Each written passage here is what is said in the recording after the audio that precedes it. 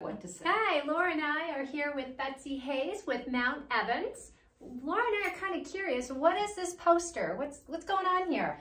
This is um, an advertisement for Colorado Gives Day, which is on December 5th. And what it is, it's a single day of giving that people from across Colorado can give to their favorite nonprofits. You can search by word. So if you search the word hospice, Mount Evans Hospice would come up and we serve the mountain community. Oh, okay. If you search animals, you might find dog rescue places, leadership, you come up with Leadership Evergreen.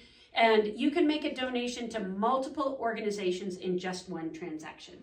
So it's on December 5th at coloradogives.org. But what's really cool this year is starting on November 1, every single donation that is made through the platform of Colorado Gives counts towards the total collected. oh. And then based on the total collected, there's an incentive fund from uh, Community First Foundation and many local corporations that we get um, some match money as a nonprofit organization. Mount Evans Hospice will get some match money nice. based on how much everyone donates. So what's really cool, it gives you the opportunity to give where you live. That's what it says at the bottom there. I And like that. you know, it's just Colorado is an amazing place um, to live and work, and people come together and show their support for these nonprofits. And it's not just the foothills, this is all of Colorado. All of So, Colorado. Yeah, such a Mhm. great program. Well, Yeah. great. Well, jump on, ColoradoGives.org.